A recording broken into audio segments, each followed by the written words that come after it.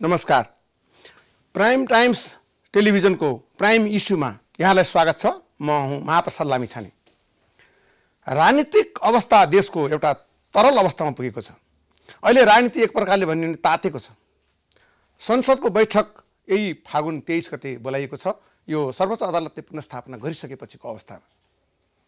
अब नेकपा जो अहिले सत्तारूढ छ त्यो विभाजित अवस्थामा छ। आधिकारिक रूपमा निर्वाचन आयोगले यसलाई विभाजन गरिसकेको अवस्था छैन। एकातिर नामको विवाद सर्वोच्च अदालतमा अड्किरहेको छ। नेपाली काङ्ग्रेस अब फेरि निर्णायक तहमा पुगेको छ। निर्णायक बिन्दुमा आइपुगेको छ। नेपाली काङ्ग्रेसको नेतृत्वमा सरकार गठन गर्नुपर्छ र हुन्छ भन्ने किसिमको एउटा जनमानस पनि बनिरहेको छ। यतातिर नेपाली काङ्ग्रेसका सभापति शेरबहादुर देउवाले भन्नुभएको छ मलाई अवसर आयो भने म पछि हट्दिनँ तर सरकार हाम्रो प्राथमिकता होइन। हामी विपक्षमा बस्ने जनमत पाएका पार्टीका नेता हौँ हामी त्यो पार्टी हौँ। निर्णय घडीमा नेपाली काङ्ग्रेस आइपुग्छ र एउटा संविधान जारी गर्ने अवस्थामा पनि निर्वाचन गराउने बेलामा पनि सुशील कोइरालाले एउटा महत्त्वपूर्ण निर्णय गर्नुभएको थियो र निर्णायक भूमिका खेल्नुभएको थियो। यिनै परिवेशमा अहिलेको अवस्थामा सरकारले गरेका काम गरेको जुन संसद विघटन गरेको र सर्वोच्च अदालतले जिताइएको अवस्थामा सरकारले पराजित भएको अवस्थामा के भन्छन् त नेपाली काङ्ग्रेसका युवा नेता? प्रखर वक्ता सांसद बझाङबाट प्रतिनिधित्व गर्नुहुन्छ। उहाँ एउटा चर्चित वक्ता हुनुहुन्छ प्रकाश हर्साइली स्नेही उहाँको नाम हो। स्नेहीजीलाई हाम्रो स्टुडियोमा स्वागत छ। धन्यवाद। तपाईँ एउटा युवा नेता नेपाली काङ्ग्रेसको वक्ताको हिसाबले तपाईँ एउटा नाम कमाएको व्यक्तित्व हुनुहुन्छ। र तपाईँको भनाइमा अलिकति तर्क दम पनि देखिन्छ धेरै हदसम्म। हुन त हरेकका आफ्नो क्षमता हुन्छन्। यतिखेरको राजनीतिक जुन अवस्था छ देशको नेपालको यस बिचमा प्रधानमन्त्रीले महत्त्वपूर्ण उपलब्धि हासिल गरेको थियो। सरकारले काम गर्न दिएन त्यसैले मलाई असहयोग भयो। मैले विघटन गरेँ भनेर प्रधानमन्त्री केपी शर्मा ओलीले भन्नुभयो। विघटन पनि गर्नुभयो तर संविधानमा नभएको व्यवस्थाका कारण प्रधानमन्त्रीज्यूलाई सर्वोच्च अदालतले हराइदियो। यो प्रधानमन्त्रीज्यूले गरिरहेका काम एउटा विपक्षी दलको एउटा युवा नेताले हेर्दाखेरि प्रधानमन्त्रीले देशमा उल्लेखनीय काम गर्नुभएको भन्दाखेरि तपाईँको त्यसप्रतिको टिप्पणी के हो? होइन पहिलो कुरा त यो निर्वाचन ताका नै जाउँ। उहाँहरूले दुईवटा पार्टी मिल्नुभयो र एउटा घोषणापत्र जारी गर्नुभयो गठबन्धन बनाउनु भयो त्यसपछि पार्टी एकता भयो। करिब करिब पौने तिन वर्षसम्म नेपाली कङ्ग्रेस पार्टीले संसदमा रचनात्मक प्रतिपक्षको भूमिका निर्वाह गर्यो हामीले। प्रतिपक्ष निकै लामो समय नेपाली कङ्ग्रेस इतिहासमा संसदीय व्यवस्थामा बस्यो र प्रतिपक्ष कस्तो हुनुपर्दछ?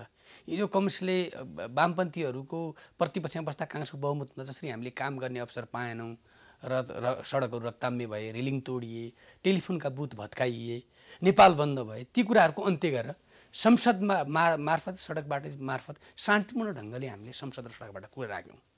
र जहाँसम्म त्यही अनुसार प्रधानमन्त्रीले आफ्नो पार्टीभित्र पनि मलाई जहाँसम्म लाग्छ प्रचण्ड माधव नेपाल समूहले पनि उहाँलाई धेरै सहयोग गर्नुभएको जस्तो लाग्छ। तर प्रधानमन्त्री केपी शर्मा ओलीले संसद लोकतन्त्रमा संसदीय व्यवस्थामा राजनीतिक दल हुन्छन्। राजनीतिक दलहरूलाई को आफ्नो पार्टीको घोषणापत्र हुन्छ नीति हुन्छ कार्यक्रम हुन्छ।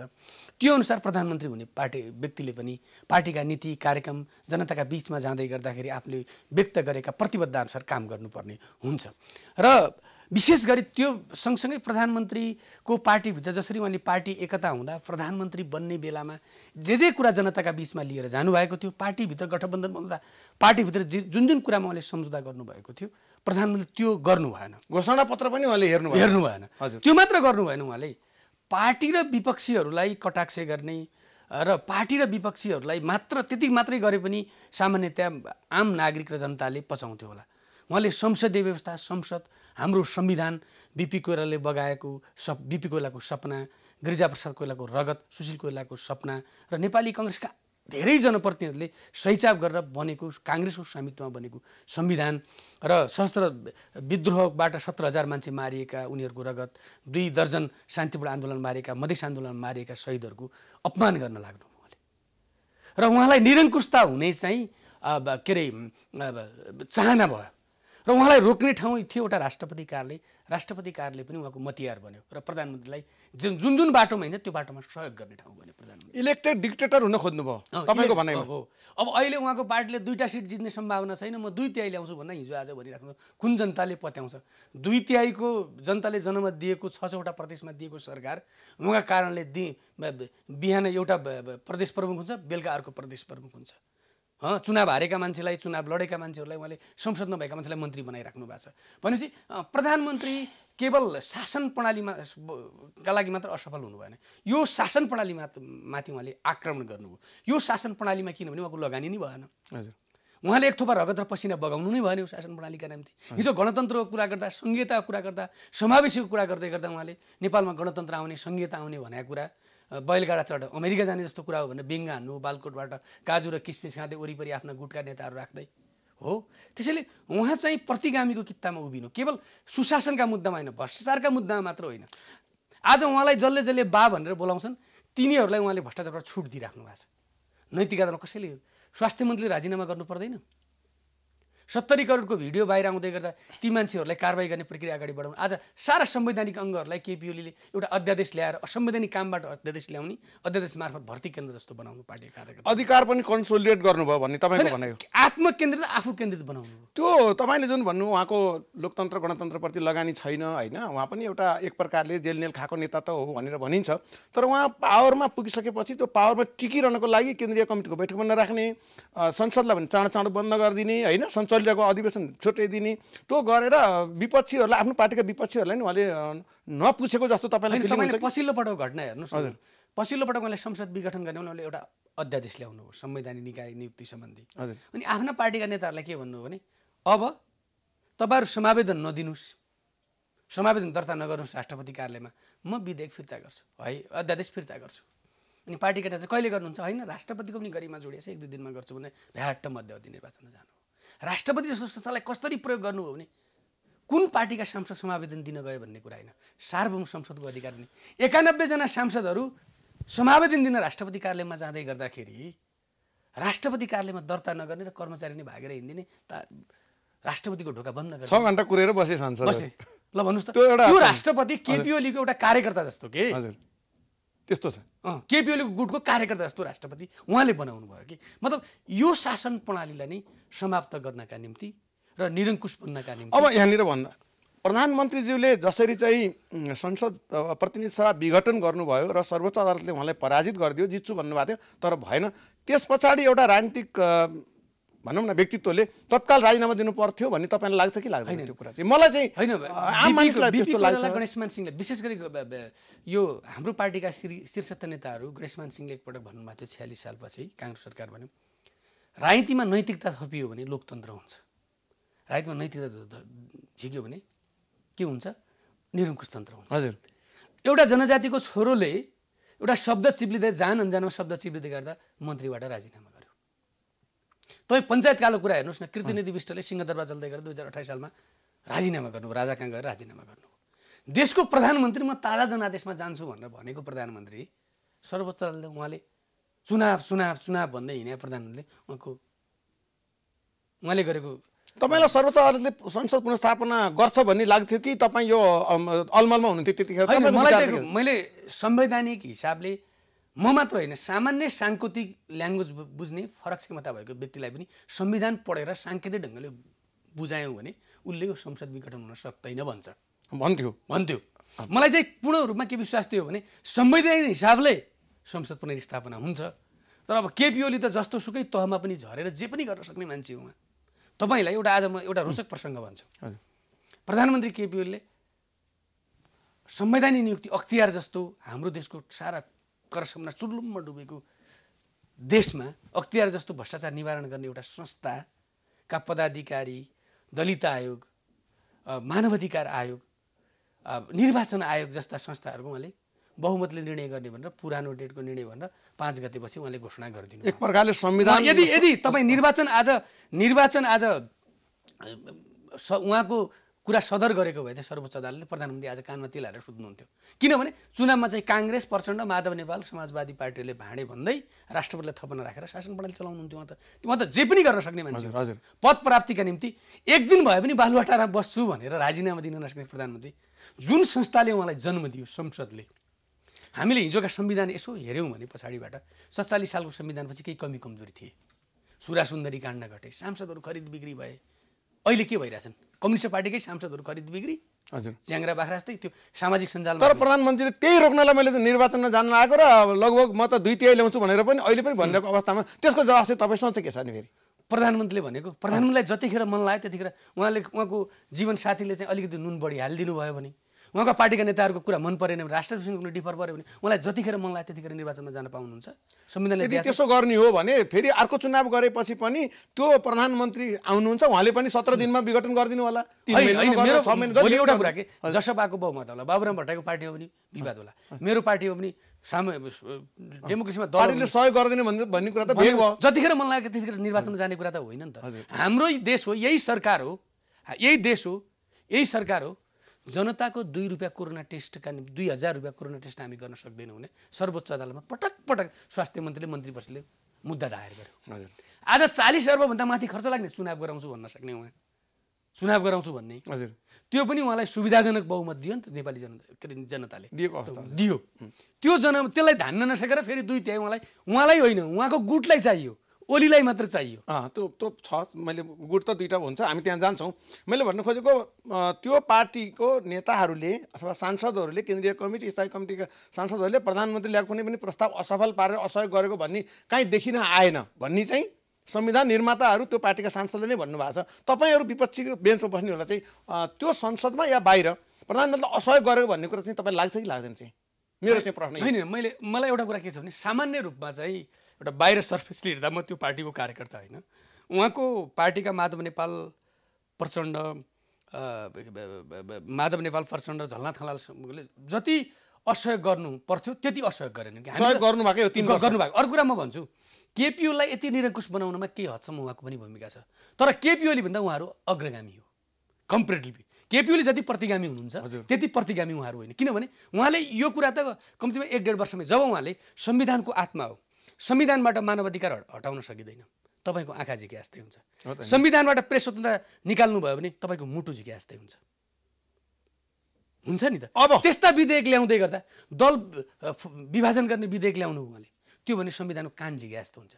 त्यस्ता विधेयकहरू उहाँले ल्याउनु भयो त्यतिखेर अनि तपाईँहरूले हेर्नुभयो म भन्छु तपाईँलाई।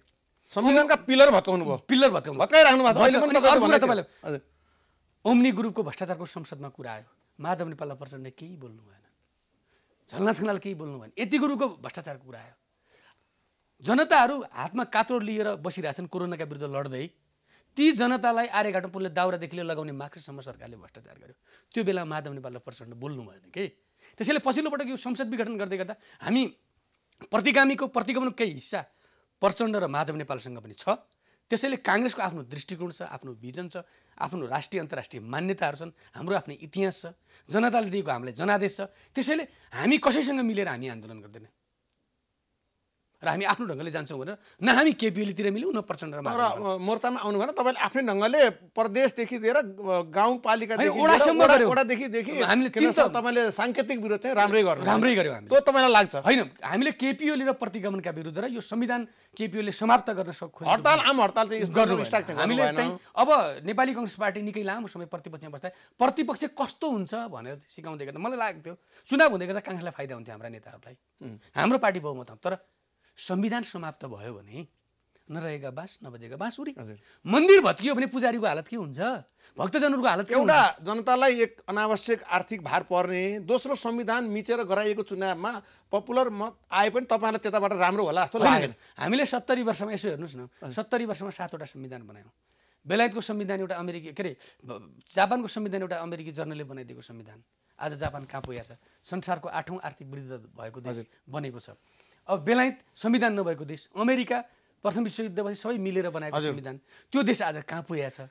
हामी संविधान बनाउँदै फ्याँक्दै बनाउँदै फ्याँक्दै गरेका छौँ। त्यसैले पहिलो कुरा हाम्रो शासन पद्धतिको स्थायित्व हुनु पर्यो। त्यसमा केही कमी कमजोरी छन् भने जस्तो अहिले पनि कुरा आयो मधेसका मुद्दा दलित जनजातिका केही असन्तुष्टि छन् भने यो संविधानलाई संशोधन गरेर जाउँ तर संविधानै भत्काउने कुरामा चाहिँ कसैको प्रतिगामी कदममा नेपाली कङ्ग्रेस किनारामा बसेर चाहिँ साक्षी बन्न सक्दैन भन्ने हाम्रो लाइन हो।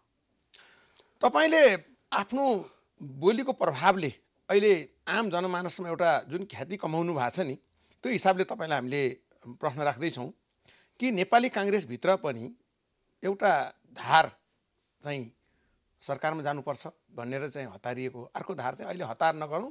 कुन ग्रुपसँग जाने हो कस्तो एलायन्स बन्ने हो त्यो नेकपा पार्टी कसरी फुट्ने हो कसको बहुमत पुग्ने हो भनेर अहिले अन्यलको अवस्थामा छ र नेपाली काङ्ग्रेस समयमा डिसिजन गर्दैन र त्यस कारणले अस्तित्व पनि नेपाली काङ्ग्रेसको एकदम ऐतिहासिक पृष्ठभूमि राम्रो भए पनि नेपाली काङ्ग्रेस आफैमा कता कता रुमलिएको जस्तो छ। तपाईँ अहिले यतिखेर के गर्नुपर्छ भनेर तपाईँ भन्न सक्नुहुन्छ? स्पष्ट एउटा कुरा के छ भने मान्छेको सामान्य जीवन र व्यवहारिक जीवन लागु हुने कुरा। छोरीको बिहा गराउनु छ ज्वाइँको फिक्स छैन सारा कर्महरूका लागि सबै कर्महरू अगाडि गर्नुपर्ने भन्ने कुरा चाहिँ हुँदैन कि। अब नेपाली काङ्ग्रेस संसद दलको भोलि बिहान मिटिङ भोलि दिउँसो मिटिङ छ पर्सि केन्द्रीय समितिको बैठक छ अब। अनि हामीले चाहिँ कुन एजेन्डामा कुन मुद्दामा कसरी लिएर जाने? हँ? कङ्ग्रेसलाई फाइदा त निर्वाचन हुँदा फाइदा थियो नि त। तर हामीले संविधान भनेको यो संविधान रहिराख्यो भने संविधान टिक्यो भने यस्ता निर्वाचन त काङ्ग्रेसको जीवनमा आउँछन् जान्छन्। दुई तिहाई बहुमत पन्ध्र सालमा आयो त्यसपछि पटक पटक बहुमत आयो नेपालीहरू। ठुलो पार्टी बन्यो सातवटा संविधानमध्ये चारवटा संविधान बनाउने कुरामा काङ्ग्रेसको नेतृत्व भयो। ती तिनवटा परिवर्तन क्रान्तिको नेतृत्व नेपाली कङ्ग्रेसले गर्यो। सशस्त्र विद्रोहमा जङ्गलमा टहलिरहेका माओवादीलाई शान्ति प्रक्रियामा ल्याएर सैचाप गरेर हामीले गणतन्त्र सङ्घीयता धर्मनिरपेक्षता समावेशी संविधान निर्माण गऱ्यौँ नेपाली काङ्ग्रेसले यत्रो धेरै परिवर्तन क्रान्तिको नेतृत्व गरेको पार्टी। पहिला कुरा मुद्दामा फिक्स हुनु पर्यो।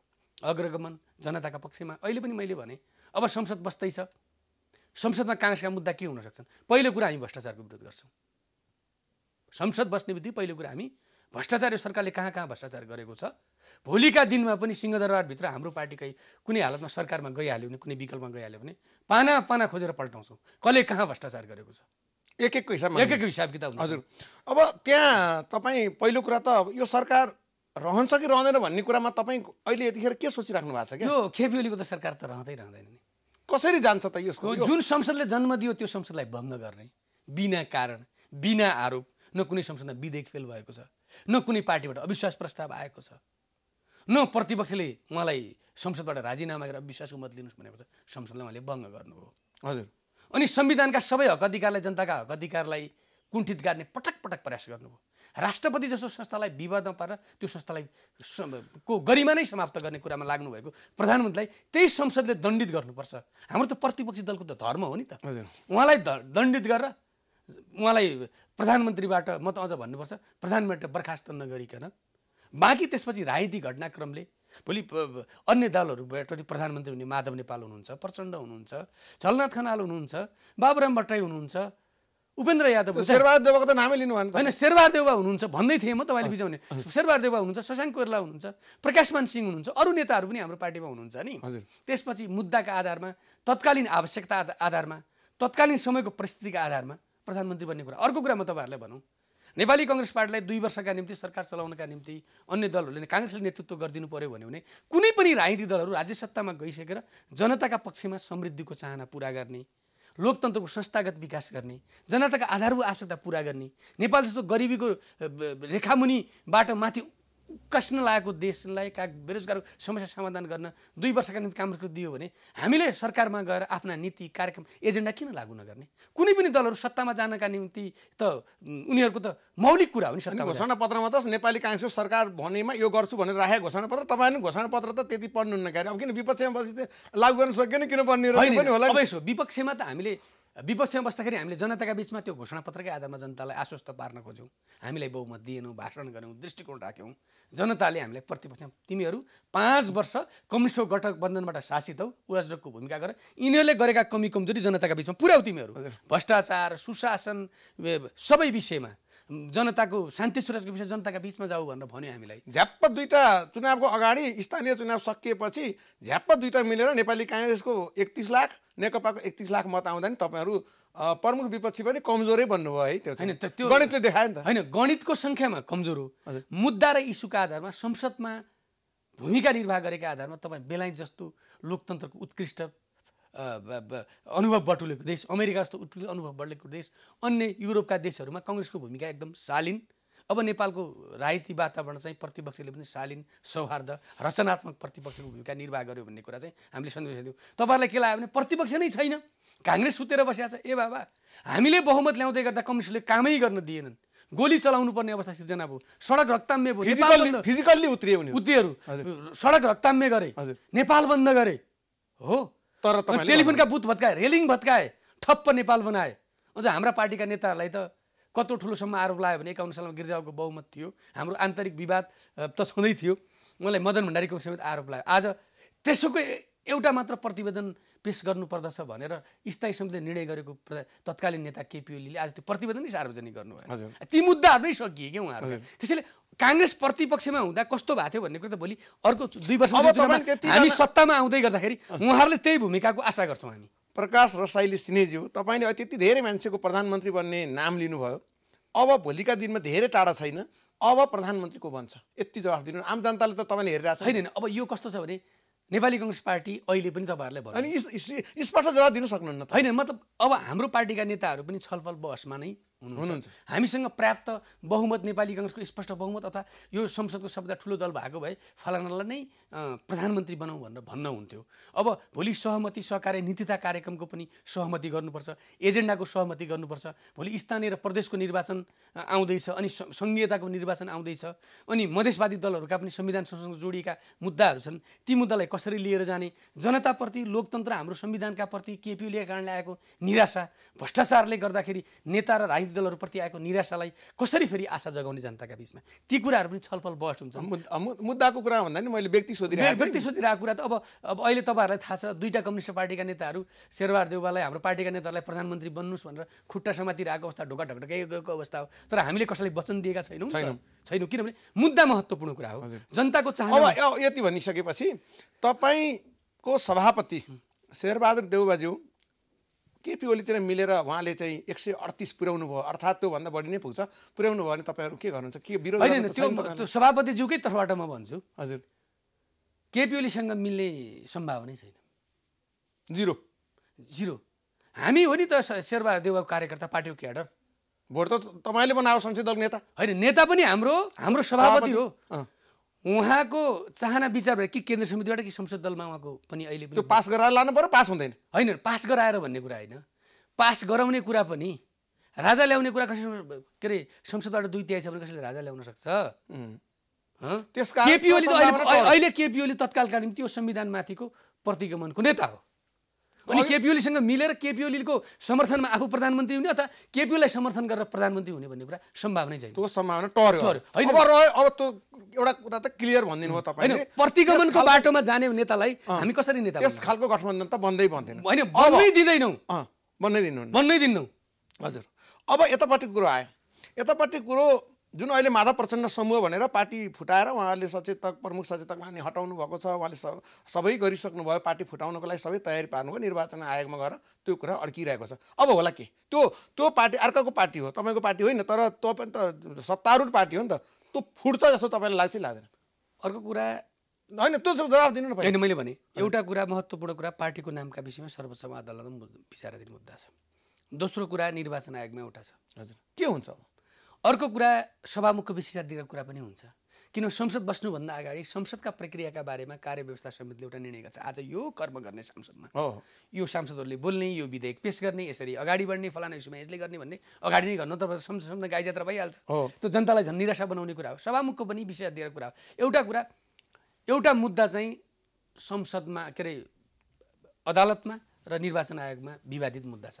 त्यो मुद्दालाई आधार मानेर संसदमा उहाँहरूको दल वैधानिक रूपमा विभाजन नभए पनि व्यवहारिक रूपमा त सडकमा आज जनजनको मनमा चाहिँ नेकपा विभाजित छ। एकै ठाउँ भन्न सक्दैन संसदमा त सभामुखज्यूले विशेष अधिकार पेश गरेर निर्वाचन आयोगले निर्णय नगरेसम्मका निम्ति त छुट्टा छुट्टी राख्न सक्नुहुन्छ? सिट सिट जुन एरेन्जमेन्ट छ सिटिङ एरेन्जमेन्ट भनौँ न त्यहाँको विपक्षी बेन्च या जुन दल छ अहिलेको जुन सत्तारूढ दल त्यसलाई उहाँले आफ्नो हिसाब किताबले व्यवस्थापन गर्न सक्नुहुन्छ। सक्नुहुन्छ। किनभने सभामुख भनेको संसदमा कस्तो हुन्छ नि उहाँको विशेष अधिकार धेरै ठुलो हुन्छ। हजुर।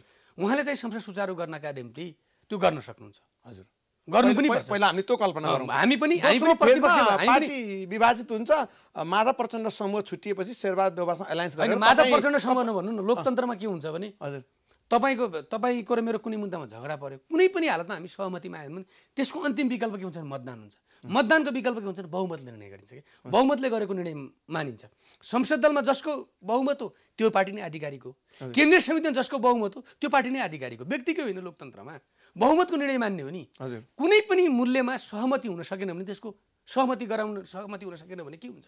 निर्वाचन हुन्छ। निर्वाचन हो किन बहुमतले निर्णय गर्ने हो नि त? हजुर। मेरो हाम्रो पार्टी पनि कहिलेकाहीँ बहुमतले निर्णय गर्नुभएको छ। गिर्जाउले गर्नुभएको छ। शेरबहादुरले पछिल्लो पटक धेरै महाधिवेशनका विषयमा चाहिँ असहमति राख्दा राख्दैन बहुमतले निर्णय गर्नु। बहुमतको निर्णयलाई अल्पमतले मानेर जानुपर्छ। त्यसले अहिलेको मेरो आफ्नो दृष्टिकोणमा के लाग्छ भने बहुमत संसदीय दल र पार्टीमा चाहिँ प्रचण्ड माधव नेपाल समूहमा छ। त्यो भएको सरकार गठन गर्न पुग्ने होइन कि त्यो पार्टीभित्र उहाँहरू बहुमतमा हुनुहुन्छ क्लियर कट छ। होइन हुनुहुन्छ। भोलि निर्वाचन आयोगले फैसला गर्दै गर्दाखेरि पनि बहुमतको निर्णय नभएर अल्पमतलाई फैसला गर्ने कुरा लोकतन्त्रमा हुन्छ। आउँदैन आउँदैन। लोकतन्त्रमा अल्पमतको निर्णय खालि उहाँले डिले मात्रै गर्ने हो निर्णय एक दिन गर्नै पर्छ। गर्नै पर्छ। हजुर। नभए सभामुखले पनि संसदमा चाहिँ संसदमा लफडा हुने कुर्ची तोडफोड हुने सभामुखमाथि अर्पभद्र व्यवहार गर्ने गरी त गर्नु। न। सभामुखले पनि एउटा सहमति कायम गरेर अथवा आफ्नो विशेषाधिकार प्रयोग गरेर संसद प्रक्रिया त अगाडि बढाउनुपर्छ त्यो गर्नु पनि पर्छ। अब यी सबै कुराको छिनोफानो तपाईँ त अब राजनीतिक व्यक्तित्वले त यस्तो कुराको आकलन पनि गर्छ नि त। कति दिनमा टुङ्गिन्छ होला? अब नयाँ सरकार देख्न कहिले पाउने होला? या विश्वासको मत प्रधानमन्त्रीले कसरी कतिसम्म लिनुहुन्छ होला भन्ने तपाईँलाई लाग्छ? अब मलाई लाग्छ कमी त्यहाँ पनि नयाँ प्रधानमन्त्री आउन चैतको पन्ध्रदेखि बिस किनभने अब विश्वास प्रस्ताव फेल हुनु पऱ्यो फेरि प्रधानमन्त्रीले राजीनामा दिनु पऱ्यो उहाँ फेरि म राजीनामा नदिएर पनि अर्को प्रधानमन्त्री आएपछि भन्नुहुन्छ। फेरि यहाँ त हाम्रो देश त विधि र प्रक्रिया एकतिर हुन्छ कर्म एकतिर हुन्छ कि? संसदले प्रधानमन्त्री तपाईँको क्यालेन्डरले अझै पच्चिस दिन जति होइन किन अब राजनीतिक घटनाक्रमहरू चाहिँ एकदम छिटो छिटो विकसित हुन्छ। सो भोलि नेपाली काङ्ग्रेस संसद दलको मिटिङबाट पनि केही नयाँ कुराहरू आउँछ। पछि पार्टीको केन्द्र समितिको निर्णयबाट पनि केही नयाँ कुराहरू आउँछ हो? आइतबार सोमबारतिर आइतबारतिर अथवा भोलि आइतबार सोमबारतिर पनि निर्वाचन आयोगले केही निर्णय पनि दिन सक्छ। हजुर। अब राजनीतिक घटनाक्रमहरू पनि सभामुखले आफ्नो विशेषाधिकार प्रयोग गरेर संसदलाई कसरी लिएर जाने किनभने सत्तासीन पार्टीभित्र विवाद छ। हो? भोलि संसदमा चाहिँ अभद्र व्यवहार भयो भने आम जनता निराश हुन्छन्। कार्य व्यवस्था परामर्श समितिको बैठकबाट त्यहाँ सबै कुराको व्यवस्थापन नगरिकन त बैठक बसेर केही अर्थ छैन। नाराबाजी मात्रै हुने हो।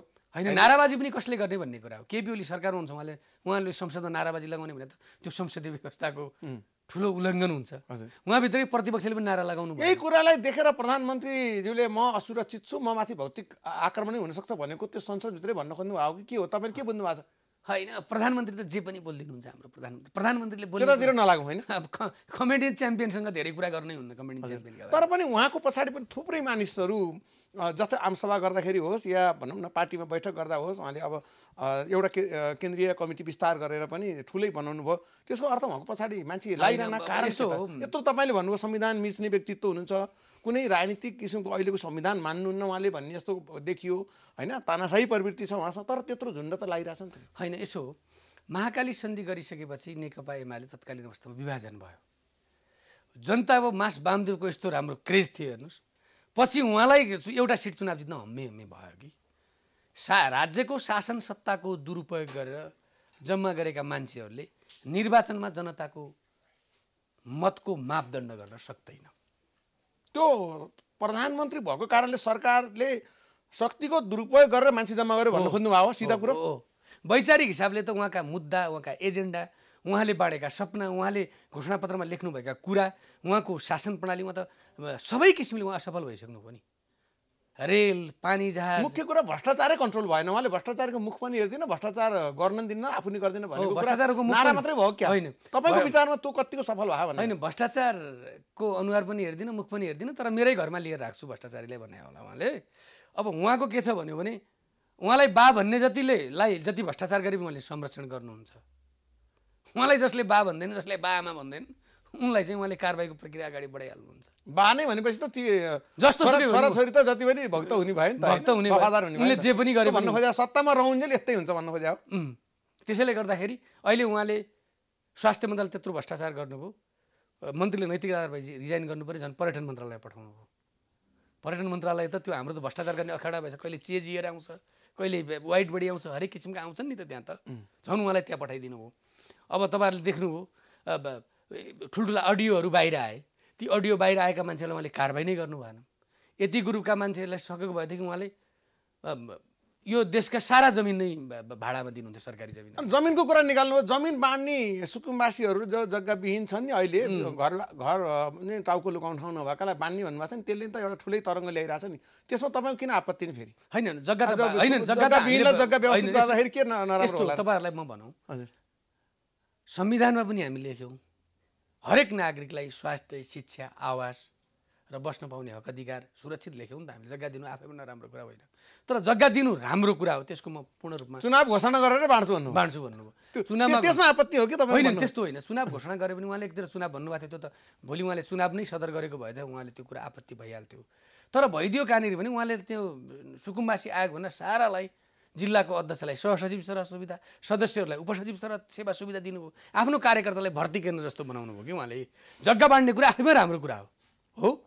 त्यसैले गर्दै गर्दा जग्गा बाँड्ने भन्दा पनि आफ्ना कार्यकर्ता टाइम ठिक भएन भन्ने कुरो। होइन टाइम पनि निर्वाचनको टाइम उहाँले घोषणा गरेको त निर्वाचन हो नि त। निर्वाचनका बेला एजम्सन त चुनाव हुन सक्छ भन्ने त थियो नि त्यतिखेर होइन उहाँको एजम्सन उहाँले त चुनाव चुनाव चुनाव भनेर जनतालाई मञ्चमा गएर चुनाव भन्नुहोस् त भनेर ती तिन पटक चार चार पटक नारा लाउनुहुन्थ्यो। भन्यो भने त्यो समयभन्दा पनि कार्यकर्ताको भर्ती केन्द्र भयो। अब आउने सरकारले पनि जनतालाई जग्गा यो कर्मचारी पजनी अहिले एक प्रकारको भनौँ न अब विभिन्न किसिमका चाहिने कर्मचारी पनि आतङ्कित छन्। यो अब यो किसिमको कार्यशैली चाहिँ तपाईँलाई चाहिँ कस्तो लाग्छ? एउटा विपक्षी नेताको सांसदको हैसियतले हेरिरहनु भएको छ तपाईँले होइन? अब विरोध पनि गर्न सक्नु भएन तपाईँहरूले। आफ्नै पार्टीभित्र विवाद छ मैले अघि पनि भने। यो यस्तो किसिमको कर्मचारीलाई बारम्बार सरुवा गर्ने सचिवहरू फेरै फेरै गर्ने यो कुराहरूको तपाईँहरूले विरोध गर्न नसक्नुको कारण चाहिँ के थियो होइन अब विरोध गर्ने प्रतिपक्षले विरोध गर्ने कुरा कि त संसद हो कि सडक हो? हो? सडकबाट भर्खर अब छुटकारा पाइएको छ। अब सदनबाट त ती कुरा आवाज हुन्छन्। अर्को कुरा म तपाईँहरूलाई भन्छु। हाम्रा नेपालका राजनीतिज्ञहरूले चाहे काङ्ग्रेस चाहे नेकपा म एउटा कुरा भन्छु। हामीहरू पनि केही कहीँ कमी कमजोरी भयो होला निजोका दिनमा। तर यति धेरै कमी कमजोरी हामीले गरेनौँ। किनभने ब्युरोक्रेसी भनेको स्थायी सरकार हो। ती कुन आइडियोलोजीमा तपाईँले पनि भोट हाल्नुहुन्छ मैले पनि भोट हाल्छु तपाईँ पत्रकार हो।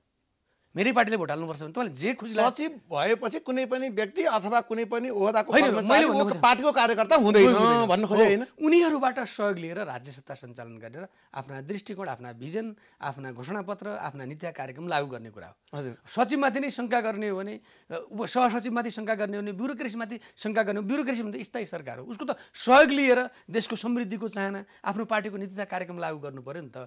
यो त कर्मचारीलाई आतङ्कित बनाउने काम भयो। उनीहरूको सहयोग लिने भन्दा पनि उनीहरूलाई प्रेसरमा काम गराउने कुरा भयो। अब काङ्ग्रेसतिर फर्क्यौँ एकचोटि प्रधानमन्त्रीको बारेमा धेरै तपाईँले भनिसक्नुभयो। अब यो सरकारको अवस्था अब यो संसद मतलब अधिवेशन सुरु भएपछि प्रष्ट होला। अब तपाईँहरूको पार्टीको चाहिँ जुन छ नि आफ्नो भित्र पनि त को हो? भोलिको सभापति थाहा छैन। पार्टीमा ग्रुप धेरै छन्। त्यो ग्रुप मिलाउनको लागि तपाईँ एक ढिक्का भएर नेपाली काङ्ग्रेसको एउटा इतिहास कायम गर्नको लागि तपाईँहरू के प्रयास गरिराख्नु भएको छ? देखिँदैन अहिले हाम्रो विशेष गरी यो संसदकै भूमिका र यो संविधानलाई एउटा ट्र्याकमा ल्याएका छौँ। सरकार बन्ने कुरा छ हाम्रो पार्टीको अब अहिले क्रियाशील सदस्य वितरण अभियान करिब करिब तिस पैँतिस जिल्लामा हाम्रो क्रियाशील सदस्य टुङ्गिसकेको छ बाँकी आदि जिल्लाहरूमा हुँदैछ।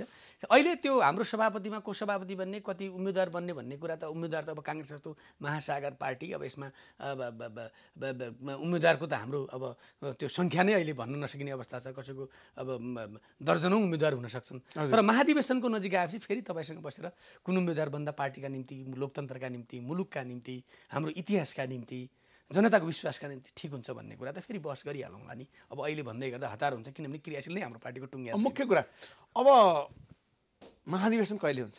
भदौमा। हुन्छ? हुन्छ महाधिवेशन हुन्छ। अब ढुक्क साथ बस्नुहोस्। वर्षायाममा। लौ बिपी कोइरालाले वर्षायाम हिउँद भन्नु भएन पार्टीको निम्ति प्रवास राजनीतिमा मौसमले केही फरक मौसमले केही फरक पार्दैन। मान्छे जनयुद्ध लडे बन्दुक बोकेर हिँडे सरै छ त्यसो भएर। होइन यसो हाम्रो सर्नुको प्रमुख कारण के हो भने कोरोना कारणले पनि सरेको पार्टीभित्रको आन्तरिक द्वन्द्व एक वर्ष त हामीले कोरोनाले च्याप्यो। कोरोनाका बिचमा जति साह्रै नै तपाईँहरूले संविधान अनुसारै सारी राख्नु भयो नि त। पार्टीको होइन हाम्रो साढे पाँच वर्ष त संविधानमा लेखेको छ। त्यो कटाउँदैनौँ हामी एक सेकेन्ड पनि कटाउँदैनौँ। समयमा आफ्नो उदाहरण बनेर देखाउनुहुन्छ। देखाउँछौँ हामी हिजो पनि देखाएको थियौँ आज पनि देखाउँछौँ हामी।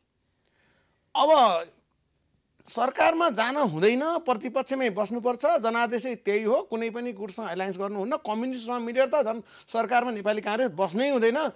भनेको अर्थ के चुनावै खोज्या हो कि? भन्ने पनि त सङ्केत- गर्यो हाम्रो त। एउटा कुरा के छ भने हजुर। अब सङ्घ पार्लियामेन्ट भइसकेपछि त बहुमतको स्थायित्व सरकारका निम्ति हजुर। केही न केही त नेपाली कङ्ग्रेस पार्टीले जनताका बिच जाने काम गर्नुपर्छ। एउटा प्रतिगमन सत्य हो त्यही संसदबाट राष्ट्रिय सहमति कायम गरेर एक वर्ष अगाडि त अर्ली इलेक्सन पनि गर्न सकिन्छ नि त मिड टर्म इलेक्सन भन्दा त।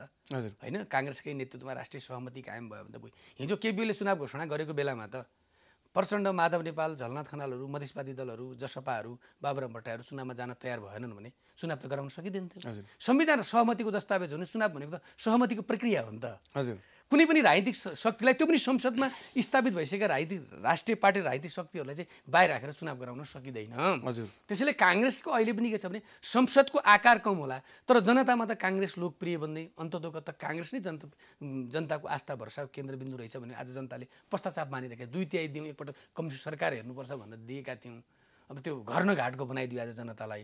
न समृद्धिको चाहना पुरा गर्यो न पार्टीको आन्तरिक द्वन्द्वलाई व्यवस्थापन गर्न सक्यो न अब भ्रष्टाचारलाई न्यूनीकरण गर्दा जनताले त सहेरै बसिरहेछन् है। है जनता त म त नेपाली जनतालाई त तपाईँको अगाडि नमन गर्छु स्यालुट गर्छु यो नेपाली जनताको धैर्यता देखेर है हरेक दिन दुई हजार नेपाली युवाहरू विदेश गइरहेका छन् सातजना नेपाली युवाहरूको हरेक दिन बाकसमा लास आइरहेको छ सातजना नेपाली आमाहरूको काग तिरिरहेछ हजारौँ नेपाली विद्या के अरे युवाहरू बच्चाहरू चाहिँ टुरा भइरहेका छन्। हजारौँ दिदीबहिनीहरूको के अरे सिन्दुर पुछिएको छ हरेक दिन विदेशमा। अब तर पनि नेपाली जनता सबै कुरा भन्दा नेपाली काङ्ग्रेस दुई हजार छयालिस सालको परिवर्तनपछि अधिकांश समय सत्तामा बसेको पार्टी हो। त्यसको नि त तपाईँले नि त तपाईँहरूको पार्टी नि जिम्मा लिनु त पर्ला नि त यो किन जिम्मा लिन्छु? गौरवका साथ लिन्छु नि हाम्रो पार्टीले। आज तपाईँ र मैले बोलेको टेली टेलिभिजन कसका कारणले आएको? नेपालीहरू खुला अर्थतन्त्रका कारणले। तपाईँले मलाई दुईपटक फोन धेरै गरेर काम गर्नु हो तर तरै पनि देशको गरिबी यो अब यो बेरोजगारी हटेन भन्न खोज्नु भयो नि त तपाईँले। प्रयास गर्दै थियो अवरोधहरू पनि आए यही भन्न खोज्नु भयो। होइन अब अवसर पायो भने गर्छौँ भन्नुभयो होइन नि हामीले हिजो पनि गरेका हौँ। एउटा कुरा महत्त्वपूर्ण कुरा हो हामीले रोजगारीका सन्दर्भमा गर्न सकेनौँ। त्यो कारण के हो भनेपछि जब हामीले रोजगारीको प्लान बनाउँदै थियौँ यो मुलुकमा दुईवटा घटना घटे। सत्तालिस सालपछि नेकपा एमाले कम्युनिस्टका नाममा काम गर्न दिएन। बाहन्न सालपछि माओवादीले सशस्त्र द्वन्द्वमा त्यो द्वन्द्व नआए देशको स्वरूप अर्कै हुन्छ हामी त्यो सशस्त्र द्वन्द्व कारणले पचास वर्ष पछाडि परेका छौँ हामी। तपाईँहरू हेर्नुहोस् न त्यतिखेर कति किलोमिटर मोटर बाटो थियो आज कति किलोमिटर मेरो जिल्ला जाँदै गर्दाखेरि म चार दिन हिँडेर सदरमुकाम पुग्थेँ। आज मेरो जिल्लामा चैनपुर। चैनपुर। चार दिन म एसएलई पास गरेर जाँदै गर्दाखेरि आजभन्दा करिब करिब ढाई दशक अगाडि म मेरो जि गृह जिल्ला जाँदै गर्दाखेरि तिन दशक अगाडि म चार दिन हिँडेर जान्थेँ। आज म प्लेन पिच मोटर बाटो पुगेको छ।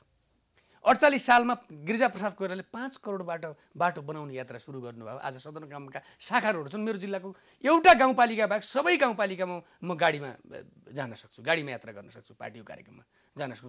अहिले जम्मा एउटा जिल्लालाई मात्रै मोटर बाटोले नछुएको छ। सदरमुकाम हुम्ला मात्रै। हजुर। छिहत्तर जिल्लामा चाहिँ आज मोटर बाटोले छुएको छ।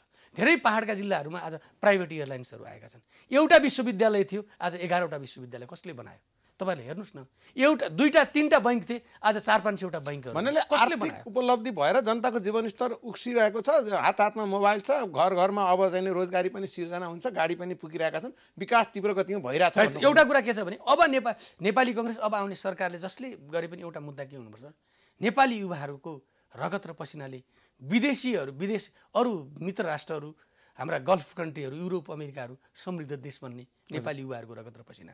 अनि हामी उपभोक्तावादी समाज हुने त्यहाँबाट हाम्रा युवाहरूले विदेशबाट पैसा पठाउने अनि विदेशबाट आएको सामानले हामी किनेर खर्च गर्ने त्यो पैसा फेरि विदेशबाट विदेशमा पढ्नको लागि पनि सबै बाहिर जाने। बाहिर जाने। जाने। नेपालका योग्य नागरिकहरू पनि विदेश जाने। अमेरिका जाने घुम्ने कुर्सीमा बस्ने साइन्टिस्ट बन्ने अस्ट्रेलिया जाने युरोप जाने। अनि अलिकति कम पढे लेखेका युवाहरू गल्फ कन्ट्रीमा रगत र पसिना बगाउने। तर नेपालको भूमि चाहिँ बाँझो हुँदै उर्वर उर्वर नहुने बाँझो हुँदै जाने। त्यो कुराबाट चाहिँ अब एउटा दृष्टिकोण ल्याउनुपर्छ नेपालमा रोजगारको अवस्था। अब आम मानिसको भर्सन म तपाईँलाई भन्दैछु जतिचोटि अब शेरबहादुर देउबा चारपटक प्रधानमन्त्री बन्नुभयो जतिचोटि अब पाँचौँचोटि बन्नुहुन्छ भने पनि आखिर जो जति जोगी आयो नि काने चिरेको भने जस्तो यी नेताहरूबाट भन्न युवा पुस्ता आउनुपर्छ युवा पुस्ता नआइकन केही हुनु परिवर्तनको आवाज हुँदैन भन्ने छ नि त। मान्छेलाई चाँडो चाहियो नि अहिले तपाईँले भनेको जस्तो कमी कमजोरी सच्याउनलाई त। यो पुरानो पुस्ताले सक्दैन भन्ने छ। युवा पुस्ता खै त सशक्त भएको भन्न खोजेँ? होइन अब यो हरेक पार्टीमा देख्छु। यसो हो। यो संसारको इतिहास पनि हेर्नुपर्छ। महाथिरले मलेसिया बनाए। उनले आफू भन् आफ्नो नेतृत्व हस्तान्तरण गर्ने बेला युवा पुस्ताका नेतालाई दुई हजार पच्चिससम्म यो त विकसित रा वि- वि- उच्चतम विकासोन्मुख देशमा पुर्याउँछु भनेर उनले हस्तान्तरण गरे। नयाँ पुस्ताका मानिस आएर भ्रष्टाचार चुल्लुमा डुब्यो। पछि महाथिरले त्यो कुरा बोल्दा उनलाई पार्टीबाट निकाल्यो। महाथिरले अर्को पार्टी खोले। फेरि बहुमत ल्याए तिनलाई कारवाही गरेर पार्टीबाट निकाल्यो। अहिले जेलमा हुनुहुन्छ। भन्यो भने एजेन्डा र उमेर भनेको कुरा फरक कुरा हो। गिरिजाप्रसाद कोइला बुढो हुनुहुन्थ्यो। तर उहाँले हामी नयाँ पुस्ताले गणतन्त्रको नारालाई ले बोलेको कुरालाई उहाँले सम्बोधन गर्नुहुन्थ्यो कि? एजले केही पनि फरक पार्दैन। इच्छा शक्तिले धेरै कुरा फरक पार्ने कुरा हो। सुशील कोइरालाले बोल्न आउँदैन थियो। उहाँको जिब्रो क्यान्सर लागेको थियो। संसदमा भाषण गर्न आउँदैन थियो। केपी ओलीको यस्ता उखान टुक्का आउँदैन थियो उहाँलाई। तर देशी विदेशीहरूले एक दिन पनि संविधान सार एक दिन पनि संविधान घोषणा गर्न ढिला गर भन्दै गर्दा उहाँले घुँडा टेक्नु भएन कुनै पनि हालतमा। जहाँ जहाँ संविधानमा कमी कमजोरी भएका छन् मधेसका बारेमा सूत्रीय संविधान जारी नगरिकन म सरकार पनि छोड्दिनँ यो गरेरै छोड्छु गरेरै भन्नुभयो। छोड्छु। त्यसमा बढी प्रेसर के थियो भने संविधान जारी गरे पनि नगरे पनि तपाईँले छोड्नुपर्छ मसँग कम्प्रोमाइज गरे भने केपी ओली लागिरहन्थ्यो। केपीलाई संविधान जारी गर्ने भन्दा प्रधानमन्त्री बन्ने रहर थियो। त्यो प्रेसरले मात्र। उहाँले के भन्नु भने हाम्रा शुभचिन्तक मिश्र राष्ट्रहरूलाई प्रष्ट उहाँले के भन्नु भने म संविधान जारी गर्छु। मधेसका केही मुद्दा छन् दलितका केही छन् जनजातिका केही छन्। संविधान भनेको यो ढुङ्गामा लेखेको अक्षर होइन। भोलि संशोधन गरेर जान अगाडि बढ्न सकिन्छ। भन्नुभयो शेरबहादुरले संविधान संशोधन प्रक्रिया पनि पछि बढ- बढाउनु भयो उहाँले। संविधान निर्माण गरेर जानुभयो त्यसैले एउटा कुरा के छ भन्यो भने अब एजभन्दा पनि एजेन्डाले मुद्दाले इच्छा शक्तिले नेता भन्ने कुरा हो। अब अहिले तपाईँ फलानै प्रधानमन्त्री बन्नुहुन्छ उहाँले गर्न सक्नुहुन्न भन्ने कुरा होइन। काङ्ग्रेस पार्टीभित्र टेस्ट परीक्षण नभएका नेताहरू पनि छन्। भोलि ती नेताहरूले परीक्षण गरेर राम्रो पनि गर्न सक्नुहुन्छ। नेतृत्वको विकास पनि हुँदै जान्छ भन्नुभयो तपाईँको यो क्रमिक विकास हुन्छ भन्ने कर्मिक विकास नै हजुर। अब घुमिफिरी रुम्जाटार भने जस्तै उखान छ नि। शेरबहादुर देउवा प्रधानमन्त्री बन्नुहुन्छ पाँचौँचोटि। तपाईँ ढुक्क हुनुहुन्छ नि आजको दिनमा। होइन होइन। म त्यो अहिले हाम्रो पार्टीमा पनि व्यापक छलफल बहस भएको छ। केन्द्रीय समिति संसद दलले कसलाई प्रधानमन्त्री बनाउने के गर्ने भनेर निर्णय पनि गरिसकेका छैन। हामी छलफलमै छौँ। अब संसदीय दलको नेता परिवर्तनको त यतिखेर गुन्जास म त्यति देख्दिनँ तपाईँ होइन मैले भन्न खोजेको कुरा किनभने अब संसदमा हामी ठुलो पार्टी पनि होइनौँ हामी प्रतिपक्षमा। तर यो हाम्रो संसदमा सरकार बनाउने सङ्ख्या पनि होइन। हजुर। हाम्रो सरकार बनाउने जनताको म्यान्डेट पनि होइन। तर परिस्थितिले कङ्ग्रेस नै चाहिन्छ कङ्ग्रेस बनिदिनु पर्यो प्रभु बन्यो भने नेपाली कङ्ग्रेस पार्टी अब पछाडि फर्केर त भाग्दैन जनताको जिम्मेवारी। राज्य सत्ता सञ्चालको जिम्मेवारी लिएर यो भनिरहन अहिले तपाईँ मेचीदेखि महाकालीसम्मका सम्पूर्ण सतहत्तर जिल्ला कार्यकर्ता तपाईँ यही कुरामा विश्वस्त छन् कि तपाईँको भर्सन मात्रै हो यो फेरि? यहाँ त आइरहेछ नि त सरकारमा जानु हुँदैन भनेर सोसियल मिडियामा आइरहेछ नि। होइन सरकारमा जानु हुँदैन जिम्मेवार नेताकै आइरहेछ। ठिक छ सरकारमा जानु हुँदैन भनेको होइन। बाहिर बसेर पनि सरकारलाई समर्थन गर्न सकिन्छ भन्ने कुरा हो। भोलि संसदबाट सरकार बन्न नसक्ने अवस्था आयो। केपिओले नै रिपिट भइराख्नु अवस्था सिर्जना भयो भने केपिओलीको नेता चुनाव पनि हुन नसक्ने देशलाई बन्धक बनाएर त राख्दैन। कङ्ग्रेसले त्यसको नेतृत्वमा लिएर राष्ट्रिय सहमति कायम गरेर केपिओली जस्तो अतिवादी मान्छेहरू प्रचण्ड माधव नेपाल जस्तो शक्तिहरू बाबुराम भट्टराई जसपा जस्ता राजनीतिक दलहरू अन्य संसदमा बाहिर रहेका रापरवा लगायतका अन्य दलहरूलाई लिएर त निर्वाचनको प्रक्रियामा जाने सबै हुँदाखेरि तपाईँहरूको एउटा कुरा चाहिँ किन क्लियर आउँदैन कि तपाईँ पार्टी फुटाउनुहोस् तपाईँसँग हामी अलायन्स गर्छौँ भनेर माधव प्रचण्ड समूहलाई प्रष्ट भाषामा नेपाली काङ्ग्रेसले भनेको पनि देखिँदैन फेरि। होइन हामीले हो यो? होइन हामीले भनिसक्यौँ उहाँहरूलाई भनिसक्यौँ अब भित्रभित्र भने बाहिर त होइन बाहिर भनिसक्यौँ। तपाईँहरूको पार्टीको वैधानिक अवस्था के हो भनेर हामीले सोधिसक्यौँ नि। जसपाका नेताले जे सोध्यो त्यही सोध्नु हामीले सोध्यो तपाईँहरूको अवस्था के हो? तपाईँहरू सांसद कति छन्? मुलुकलाई अब कसरी निकास दिने हो भन्ने कुरा त हामीले सोध्यौँ नि। मुलुकलाई निकास त दिनु पऱ्यो नि। कम्युनिस्टहरूले रुमल्ल्याउने हो संसदीय व्यवस्था अब छोटकरीमा भन्नुपर्दा अब समय सकिन लागेछ मान्यज्यू। अब यिनीर यो पार्टी विभाजित पनि हुन्छ। र केही दिनभित्र सरकार नयाँ बन्छ। प्रधानमन्त्री केपी शर्मा ओली त्यहाँ प्रधानमन्त्रीको रूपमा रहनुहुन्न भन्नेमा तपाईँ विश्वस्त हुनुहुन्छ होइन कुरा। प्रधानमन्त्री केपी शर्मा ओली हुनुहुन्न र बाँकी कुरा त छलफलकै कुरा छ। हजुर। त्यो त्यसपछि मुलुकको राजनीति अगाडि बढ्छ। आइदिनु भयो प्रष्ट रूपमा नेपाली काङ्ग्रेसको तर्फबाट अहिलेको समसामयिक राजनीतिको बारेमा आफ्ना धारणा राखिदिनु भयो तपाईँलाई धेरै धेरै धन्यवाद। तपाईँलाई पनि मेरो पार्टीको मेरो दृष्टिकोण राख्न दिनुभयो। Prime time television. Prime times television परिवारलाई पनि मेरो तर्फबाट धेरै धेरै धन्यवाद। हामीले समसामयिक राजनीतिक अवस्था र अबको राजनीतिक कोर्सको बारेमा नेपाली काङ्ग्रेसका प्रखर नेता सांसद प्रतिनिधि सभाको सदस्य बझाङबाट प्रतिनिधित्व गर्नुहुन्छ उहाँ प्रकाश रसाइली स्नेहीसँग कुराकानी गऱ्यौँ। अहिलेलाई प्राइम इस्यु यहीँ सकिएको छ। आज्ञा चाहन्छौँ। नमस्कार।